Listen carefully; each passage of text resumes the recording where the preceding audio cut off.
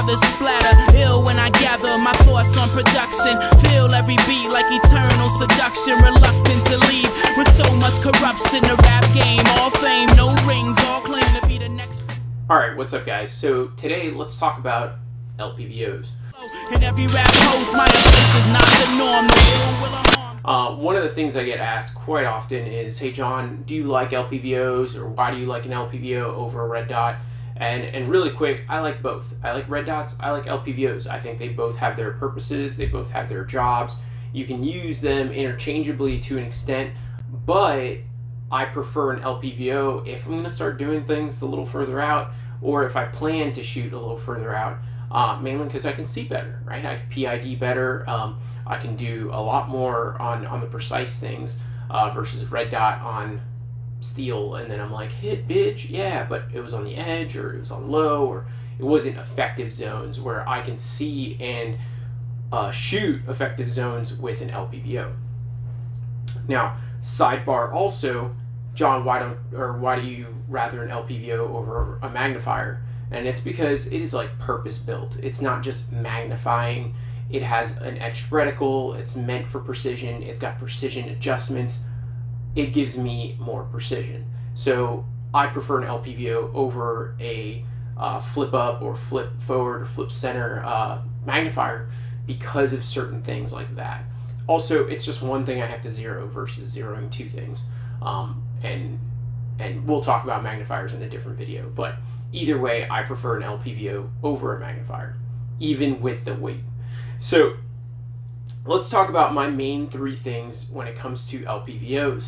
Uh, when when I choose an LPVO or if I'm I'm evaluating an LPVO, the the main three things I look for um, are a really good eye box, right? A really good eye box that's forgiving, and and what I mean by that is is what is the distance between my eye and the back of the scope, right? That that ocular lens. How far are they, and how far can I get in and out without huge amounts of scope shadow? Now, scope shadow, guys, for those that don't know, is what looks like uh, what what forces your reticle or your optic to look smaller because you're too far away, or look off skew, like kind of has like some shadowing on one side, or, or what looks like a black zone, kind of like when the moon reaches a certain point and gets a shadow on it, and then it forces the moon to look kind of like ovally or like a, a like a banana or like anything like that. Those kind of scope shadows I'm trying to avoid. But how forgiving is that optic if my eye's not perfectly placed there? Um, and and not only that but how far can my eye be so i can actually get some really good upright shooting? And it's not me it's not meant for me just to lay down and and shoot from the prone.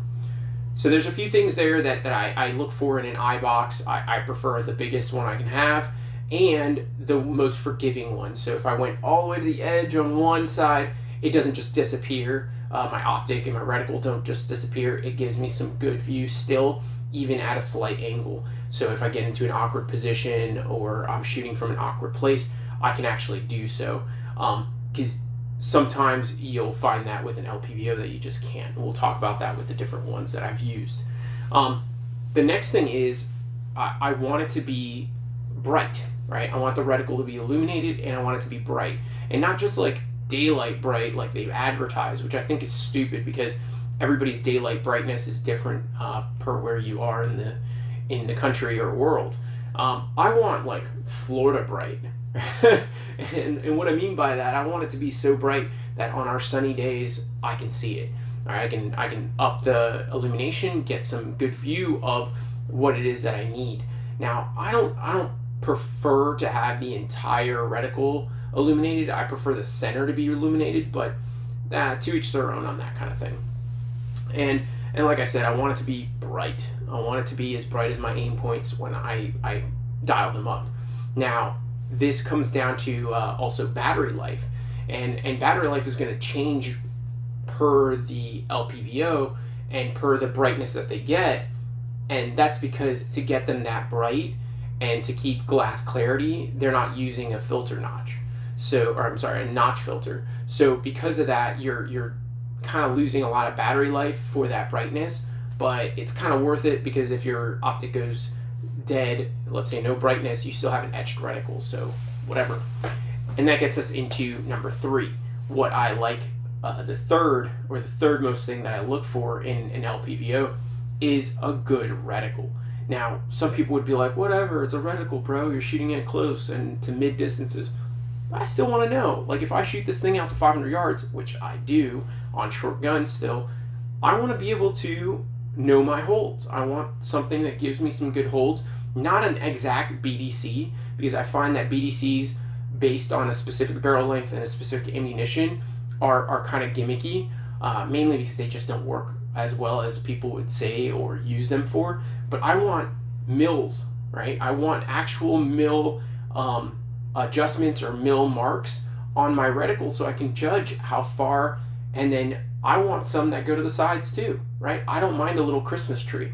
I prefer the Tremor 3 reticle over most of them, but the H59 or any of the Horus uh, reticles in general, those all work really, really well. Um, also, some of the new ones and, and variations in those for lower variable powered optics is pretty awesome. So I, I prefer the uh, the reticle to be usable for distances as well as up close. And and what that means is like when I turn on illumination and it's at one power, I just want a nice little dot, right? I don't want any kind of like uh, horseshoe shapes or any kind of triangles or deltas. I, I rather just a good old dot in the center.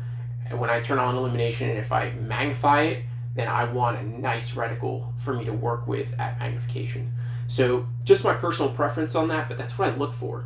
Secondary or, or, or the last few things that I'll look for um, every once in a while because they're kind of like whatever uh, to me. But uh, glass clarity is, it, well, that one's a little bit more than whatever. It's pretty important. I want my glass clarity to be pretty good because I want it to trans transmit light through there really well so I can use it under night vision. And lastly, weight. Weight's kind of like the last thing I think about. It's not really that important to me um, mainly because I work out, so I don't have to worry about it. No, I'm kidding. but I, I do it because I, I weight is a thing. It is a thing that some people have to worry about depending on their rifle and how long they have to hold that rifle. So I get it. But it's an LPVO. You're going to be trading red dot type weight for an LPVO based weight, which is completely different. And it's something you're just going to have to deal with. It, it is what it is for that much glass, that much magnification. Until they can put a a T1 style optic on an on a scope and have magnification for that thing somehow and do that shit, I'm gonna keep going with LPVOs that are big and they're probably gonna be heavy because I like more magnification. So let's start going down the kind of the list of, of different LPVOs that I've used over the years and I've, I've been kind of playing with LPVOs for about four years so not not a crazy amount of time but as long as they've been coming out with like a, a one power or one one or one two power, I've been using them, and I find that they are super useful in various situations, and um, in CQB or in close close actual proximity to targets, I'm still able to use it as long as it has a good reticle and it has a good dot like brightness, and um, an eye box. So that's probably why I like all three of those the most. Uh, but there are some that I found that are shit. They're they're just they're just not good. Uh, and and they could be good for somebody that just has to deal with like a range gun and have fun with it. But for work, nah, I, I don't approve of it. Um, and that's my personal preference and my personal opinion based on the sample sizes I have. So do what you want to do. So starting out, uh, Vortex, right? So Vortex is one of those companies that at first was like, eh, I don't know about you, but over the years they have really grown into a really good company that has some some good offerings. Also, some low budget offerings that I'd say no to, but some really good high end offerings that, that really stick there with all the big guys. So, uh, the Vortex Strike Eagle is one that I started out with uh, trying out because I was curious about LPVOs and I was like, let me let me dip my foot in just a little bit, and it was like a three hundred dollar optic, so nothing crazy, nothing that was drastic for me to spend my money on. But it was a one to six, and immediately after using it for a, a, few i think it was about four or five weeks uh, i was done with it it was it was not good enough it had really black, bad eye relief uh, and and what i say is really bad is just like it, it wasn't as forgiving as i would want It also had a reticle brightness that was crap. It was not daylight bright. It also had uh, an okay reticle. It would be usable reticle, but it, it was a, a straight up no go in my life. Uh, the glass clarity was like brownish. It's kind of crappy, and and for me the weight was whatever. It was pretty pretty normal weight for an LPVO, but overall it was a fucking no go for me. That's that's just my opinion. Uh, but take it with a grain of salt, or take it with with how you wanna, uh, or how you wanna. The next one uh, that we're gonna go down because I'm just gonna go through the the categories, not in order of how I played with them, but um, sorry, companies, not categories. But the next one was uh, the Gen 2, for, uh, the Razor from Vortex, uh, the Gen 2E, and uh, or Echo. The 1 to 6 from them was fantastic. It still is fantastic. I still use it. So I, I still utilize this, this optic. I still love it. Um, it sits on one of my spare rifles, but it does a really good job and eventually will make it back to one of my normal rotations, uh, but got moved over because I got the 1 to 10, which is what I'm going to talk about next. But its eye box is fantastic, its illumination is fantastic, its actual reticle isn't horrible, it's doable, it's, it's very usable. Um, and not only that, but I mean, weight wise and glass wise, uh, glass wise, it's great. Weight wise, it's like it's LPVO weight. It's what I expect. So nothing, nothing too hurtful there. And it works well for what I need to use it for. So I'm, I'm very happy with the 1 to 6, and the majority of people out there would be happy with the 1 to 6. It is super good in close quarters or in CQB distances. It still works really, really well for 1 power. Now, let's let's sidebar that for a second. Let's talk about LPVOs and, and in CQB distances and that true 1 power that people are always hunting for. It's not that they don't make one. They definitely have a, a, a few of these, right? Like the two razors, the the Mark Six Leupold have a true one power, and so so do actually all the Nightforces also. They all have a true one power. The problem is most people don't take the time to go ahead and adjust their diopter setting, which is the the setting that's closest to your eyeball. That diopter is going to be really important in setting your specific one power because all of our eyes are completely different. So, because my eyes, your eyes, the guy next to you's eyes are going to be completely different, we can't just use the same optic and expect the same results. It's similar to, or, or can be related to, your prescription. So if you grab your buddy's glasses that has a prescription, and depending on what it is and how, how deep or how, how horrible they are, um, you may put them on and see like a fishbowl, or you may see magnified, or you may see it minimize things or look funny. You may see different things, it may just be blurry. But that means it's just not set for your eyes. Same thing with these things. You just need to set that diopter to your eyes. And, and once you set it to your eyes in the proper distance and the proper uh, actual prescription, then you're going to see a one power or as close to one power as possible. Now, that doesn't mean it works for everybody, right? Because some people's eyes just suck dick and you're going to have to deal with it. But if your eyes are decent or, or you still have young eyes that aren't too fucked up, then uh, you, you may just need to adjust your diopter and get a better one power out of it.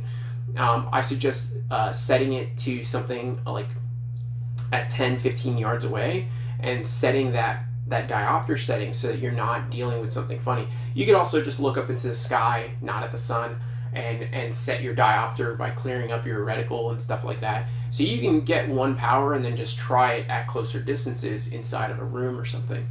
It is super, super easy to do, but a lot of people just don't think about it or they don't read the manual or they just don't understand what they just bought. So try it out before you trash your LPVO and say, ah, it's not good for fucking CQB because it's bullshit.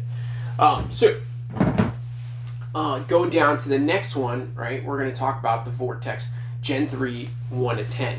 Now, this has become my new favorite.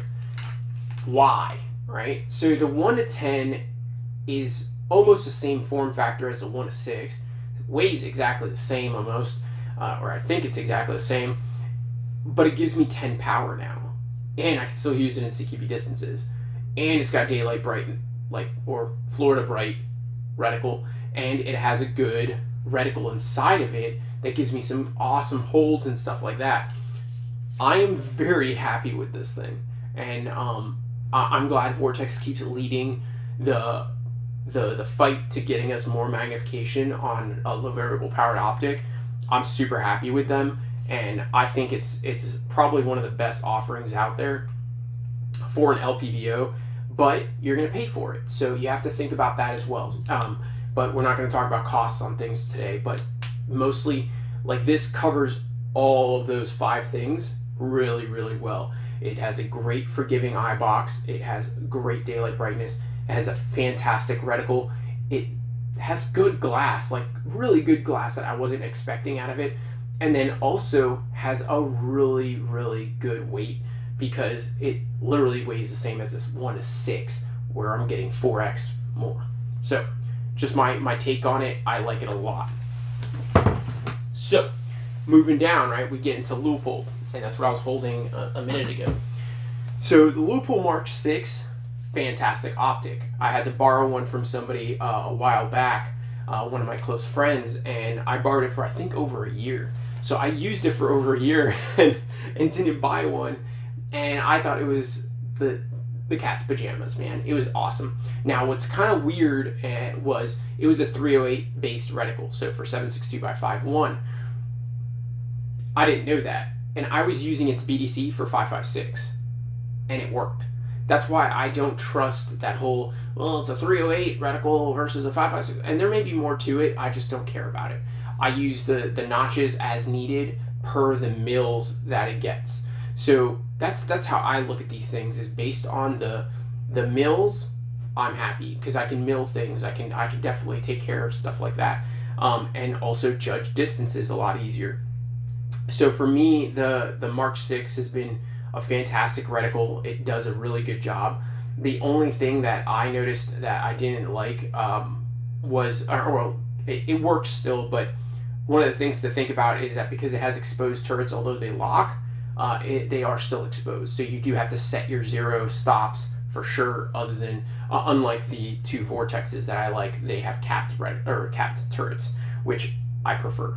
So just something to think about on on the Mark Six, but it's not heavy. It, it's a really good optic and it's been around for a while so you can get them used for really really inexpensive. And if you don't like the reticle that's in them you can just send it back to Leupold pay the price to change the reticle and then you get what you want. So it's kind of cool in that retro or er, in that perspective but like I said it is one of my favorites. It covers all of these. The eye box is fantastic the the brightness is bright enough for Florida bright the reticle is really good depending on which one you get because uh, they do have the TMR reticle that's pretty decent. It's a good size. It does everything I need. But then they have even better reticles. Uh, and then we get into the glass. It's Leupold glass. It's usually pretty good. And out of Mark 6s, they are. And then weight wise, it's not very heavy. And it is 1 to 6. So one of my favorite, favorite optics. It is awesome. And I may actually buy another one. But that's that's one of those really good optics that a lot of people don't think about, and uh, I don't hear a lot about, and I don't see a lot. But the Mark Six, fantastic, one to six. Then we go down even further, and we get into the Nightforce offerings. Uh, some of the Nightforces that I've played with was the NXS, the NX8, and the NX8 ATACR, and all of them work. They, they're pretty good, but there's some things I don't like about them, and I would have preferred for them at Nightforce to have done certain things um, so first off, like the NXS, uh, let me grab it. The NXS is tiny, so it gives you a really good small optic for one to four, and it has daylight brightness to an extent. Uh, it could be brighter, and that's what I would prefer, but it has cap turrets, which is what I like. It also has really easy magnification and it comes with its little own its own little screw in cattail just like the NX8s do. And its eye box is pretty forgiving. It's not horrible it's not the best but it's also not the worst at all. And and for me personally I find that it works really really well. Downside it's only 4x so you're only getting 4x out of it but it is I would say it almost weighs less than uh, a magnifier and an EOTech, like, or or it's really close probably if I looked at the numbers. but it feels very light and uh, and depending on the type of mount you get for it, you can get a really nice uh, setup with this Nightforce. But like I said, you're you're missing a few things. The one thing that I dislike about it, and I'll, I'll make sure uh, to pass these through so you guys can see it, but on these reticles, right, some of them are just not there, right? So this reticle um, on the NXS is just an X, and that's it. And you have some stadia lines that give you some offset and stuff, but there's no hold lines. I, I like having those mill holds for me to to make sure that I know my holds and know exactly where they are, and I don't have to guesstimate. That's my preferred method, and the NXS doesn't give me that ability. Now there may be other offerings on the on the scope. Um, I'm sorry, on the reticles, but I'm not sure. But that's one of the things that it kind of doesn't it doesn't do it for me. The reticle, and um, but everything else has been really good. Like I said, um, and, I think the eye box, like I said, could be also better, but it is a really small optic, so you get what you get. The next one let's talk about is the NX8. The NX8 is really sweet. I like it. it has a good eye box. It has a good uh, set of turrets where it caps the windage, but it leaves the the what we call it the elevation one is free for you to play with. I kind of like that on there. Um, I didn't think I would at first, but it definitely grew on me. And my battery's dead. But it's uh it's one of those optics that you're like, man, I don't know about that. But once you start using it and you know that you set your zero stop to zero, so no matter what I move it to, so if I'm like, you know, I go five mils high for whatever shot, I can always come back to my zero because I set my zero stop. So it's definitely something to make sure you do. Obviously, read the manuals to your optics. But the one thing that gets me on the NX8 that just irks me horribly because it's a 1 to 8 like it's got a lot of magnification. It's a fantastic optic. But at 8 power and I'll try and put it through here so you guys can see it it is a 6 MOA dot in the center. That's horrible. That means it covers up 12 inches at 200 yards. That means it covers up 6 inches at 100 right? That, that's that's just not that's not good. I, I would have why why didn't they just do a 1 MOA dot in the center? I don't know I don't know if it had to do with limitations, engineering, whatever it was, but it, it is it is one of those things that really really kind of irked me about the NX8. Other than that, it's barely bigger than the uh, NX4, or I'm sorry, the NS, NXS, the one to four power that I just showed you guys, and it gives you way more capability. So just something. Its reticle's decent, except for that center. That center on the on the reticle pisses me off so much. It's it's like a I wish I knew somebody at Nightforce. So, the next one, uh, which has the same exact problem, is the NX8 ATACR. It has a better reticle, and it's a little bit more beefy. It gets a little bit more light, um, but it just the center is still a six MOA dot. It absolutely drives me nuts. So they they kind of dropped the ball. I find that Nightforce could have done so much better with the reticle choice.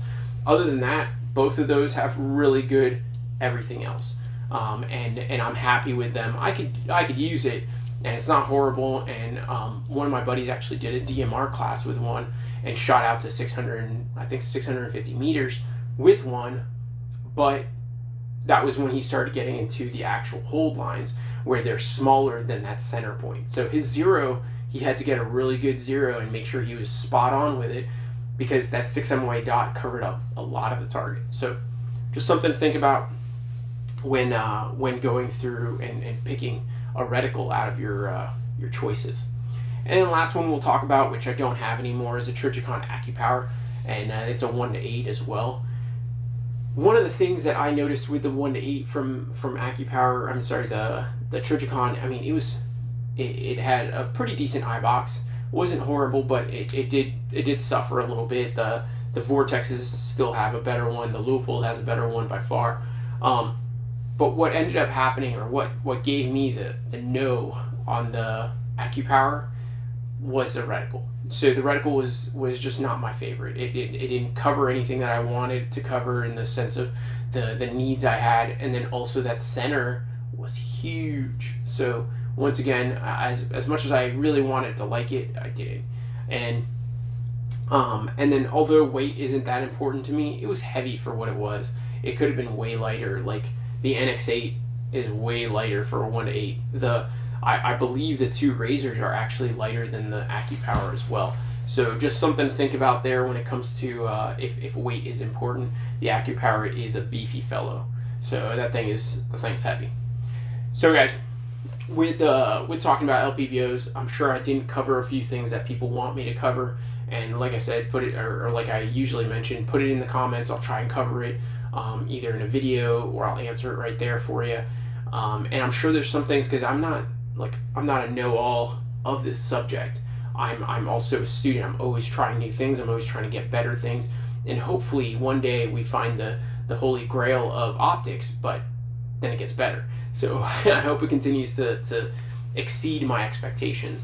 And, and as, as currently like the Vortex Razors, uh, the Gen 2 and the Gen 3 are like my go-tos. And like I said, the, the Leupold, I may buy another one because it was a fantastic optic. And uh, everything else, unless they fix certain things, uh, just aren't going to make it for me. Uh, and there's also a billion LPVO, LPVOs that I haven't touched or haven't used, uh, like uh, Kahles and, and Schmidt and Benders and stuff like that. I just haven't played with. I just I, once I found some good ones, I start sticking with those. And uh, I also don't have enough rifles to have this many optics, anyways. Uh, as you saw, like I had some in my hand. Those are borrowed usually um, because I don't own those anymore. I gave them away or I sold them and uh, because I bought different ones because I only have a certain amount of rifles, and uh, and I don't buy rifles just for an optic. I buy rifles I'm going to use. So just keep that in mind, guys, and uh, something else to add in there. And if this if this helps you out, let me know so that I can uh, continue to make videos to help you guys learn more, especially while we're in this quarantine currently at the time of this film uh, or this video is being filmed. And uh, and if you need anything, obviously comment below, email me, all that jazz. And check out the website. There's a lot of information on there that a lot of people miss out on, and I hope that actually helps uh, some of you that are willing to go search and uh, and look through there. So. Have a good one. Feel like eternal seduction, reluctant to leave with so much corruption. Rap game, all fame, no rings, all claim to be the next.